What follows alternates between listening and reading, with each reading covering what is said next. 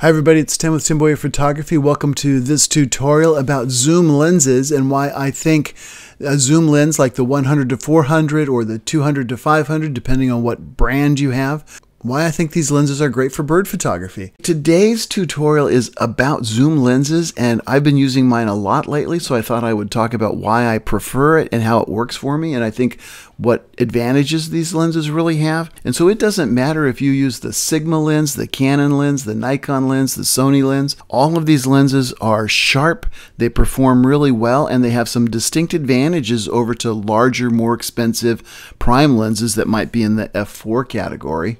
I shoot with the Canon 100 to 400 just because I've been shooting Canon for 20 years, and the reason I got it into Canon was because they had autofocus before everybody else did, and that's really good with bird photography. And they also had image stabilization before everybody else did. Those are the reasons that I shoot Canon. It doesn't matter what tool you use. I think all of these cameras, all the brands that are out there right now are good cameras. And if you are a good bird photographer and you've developed your skills, the tool you use isn't going to make that much difference. I don't know that there's so much more brand loyalty about this anymore, but what there is is, you know, develop your skill and any camera, any lens will work. So this was a picture that I took around 2006, so it's 12 years old. It sells today still. It's sharp. It was taken with a 100 to 400 zoom lens, the early Canon one. That lens was not very sharp. It wasn't super sharp, but you know, through a little bit of post processing, we can get these things to work. Beautiful bird, beautiful image. Uh, it was taken with a Canon 1D Mark II, so it was a good camera. Here's a picture of a snowy plover golden hour, nice low angle. So with a 100 to 400 or a zoom, one of these zoom lenses, you're free to walk around, get down lower. You can drop to a knee, you can sit down, you can lay down in the sand, and you can get images like this really, really easily. And so the smaller zoom lenses like this make it a lot easier. And then here's the huge advantage to this. I was up in British Columbia taking pictures of common loons, and this bird just surfaces right by the side of the boat. So by being able to zoom back to 100 millimeters, I got three shots off before he dove again. He was just coming back out to where we were to see who we were, check us out. Um, I think he had a nest, you know, a couple hundred yards away. I got that shot. And then as he swam away, I was able to zoom back out. Here's at 285 and compose my images. And here's at 360. We have this flexibility of being very creative with our compositions in camera, but also we're going to be able to get shots that we couldn't get if we had a big fixed lens like a 400, 500, or 600. There's a huge advantage to having that zoom and being flexible with it and being creative with it. Now we can also put a 1.4 extender on these lenses. These blue wing teals were out in the middle of this lake and I decided I wanted to try to get a picture of the blue on the wings. And so I put the extender on there. I'm shooting at 560 millimeters, 400 times 1.4. And then I'm using a crop sensored camera and so I'm really shooting at 896 effective focal length, and that really drew the, the ducks in quite, quite a bit. Now I'm limited to f8 when I'm shooting it with the 1.4 extender, but that's okay because in a lot of images like this one, the background's going to be water, it's going to be nice anyway. This is a nice image. What I didn't do was I should have zoomed out a little bit, and I should have gotten the whole reflection of the bird in there.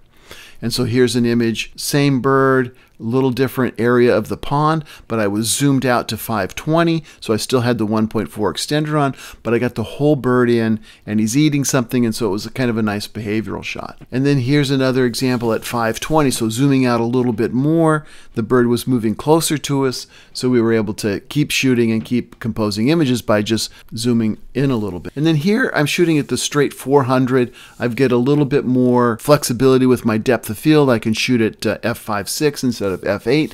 But at 400 millimeters, I cut off the reflection and I should have zoomed out a little bit. Here's another example. I'm zoomed in a little bit, but I still cut out the reflection. And this is what I'm really looking for is that I can zoom out far enough to get the whole reflection in and create kind of a very nice reflection, dynamic image, beautiful image. These lenses are also very good for birds in flight photography because you can react really quickly. You can have the 100 to 400 on your camera. It can be by your side on a strap and you can pull it up and get a few snaps like I did with these Dunlin really, really quickly. Here I was tracking this American avocet. It was flying around this pond, early morning light, lots of flexibility with composition, with getting on the birds quickly. So there's some real advantages to shooting with these zoom lenses. And then I think one of the places these lenses really work super well if you're ever on a boat shooting seabirds or whale watching or you're riding a ferry someplace because you can handhold the lens you're going to get a good image with image stabilization, have a fast shutter speed, but your body is going to dampen the vibration of the boat. And so that's going to get you the best shot. Like if you tried to use a tripod and a 600 millimeter lens, the vibration from the boat engine would go up the legs and it would shake the camera and you your image stabilization probably wouldn't work. There's just so much vibration and so much movement. Stabilizing yourself on the boat, feet wide apart, one foot slightly in front of the other one, maybe leaning up against a rail. You can get some really good images on boats with these handheld zoom lenses. These lenses have been described as great walk around lenses, and I think that's what they're beautiful at. So you can be walking around and things will happen, and you'll be able to react quickly and get the shot. So this juvenile burrowing owl jumped up onto this twig, and I was able to get a few shots of him just as he was landing because I was able to react really quickly. And then I was standing around talking with some photographer friends, and this killdeer decided to stretch its wings before it flew away. And so I got a couple of shots with its wings up in the air, and it's all because I used it as a walk around lens. I can react really quickly, and I can get a composition that I want. So, yes, there are some disadvantages. Okay, so prime lenses offer an f4 uh, aperture, and so you're going to have a softer background. You're going to have more magnification. You know, you're going to be able to more reach. You can the bird's going to be larger in the frame, and so that's an advantage. The disadvantage with a prime is that it's really heavy. It can be awkward if you're shooting out of the car. It can be tough to grab it from the back seat or even the passenger side seat. It takes quite a bit of arm strength to do that all all day long. I've never gotten tired using the 100 to 400 on my camera driving around at wildlife refuges or walking around. With the extender on, though, with the 1.4 extender on, we're limited to f8 for my autofocus. I'm also limited to one point of focus. Now, in some of the Canon cameras, we can expand that so there's four assist points around the single point in the center.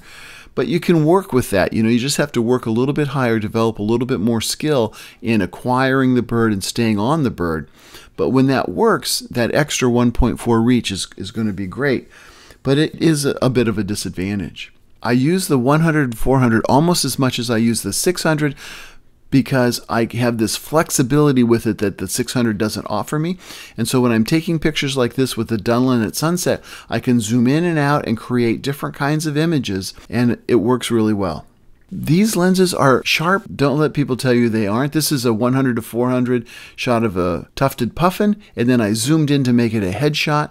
A lot of people will say that these lenses aren't sharp. That used to be true. I don't think that's true anymore. I think the technology is advanced enough. These work really well. Ease of use, the ability to make your composition in camera, quick reaction time, great for birds in flight. These are wonderful tools, and you should have one in your camera bag. Hey, thanks a lot for watching today. I really appreciate it. If you want to learn more about bird photography, consider getting a copy of my book, Learn the Art of Bird Photography. It's available at Amazon as a Kindle and as a trade paperback.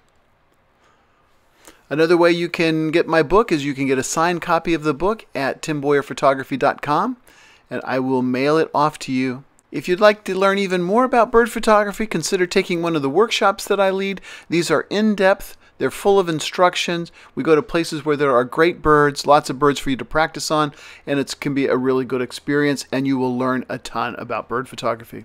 Hey, give me a subscribe, share, or like if you enjoy what I'm doing on my channel. Thanks a lot. Bye.